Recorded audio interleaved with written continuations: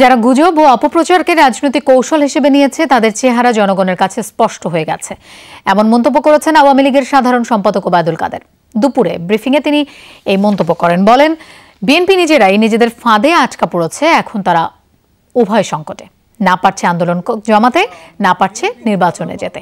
ওবায়দুল কাদের আরও বলেন, আওয়ামী লীগ নয়, প্রকৃত অর্থে বিএনপি এখন দেউলিয়া ও জনবিচ্ছিন্ন হয়ে গেছে, তাই তারা নির্বাচনকে ভয় পায়।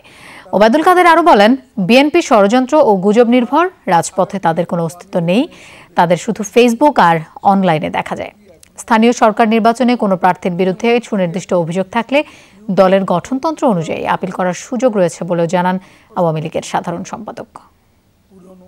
কিন্তু এদেশে আর সে পরিস্থিতি বসে থাকবে না। যারা দেশকে পেছনের দিকে টেনে নিয়ে যেতে চায়, যারা সাম্প্রদায়িক উস্কানি দিয়ে বিভাজন তৈরি করতে চায়, যারা গুজব অপপ্রচারকে রাজনৈতিক কৌশল হিসেবে নিয়েছে, তাদের চেহারা জনগণের কাছে স্পষ্ট হয়ে গেছে।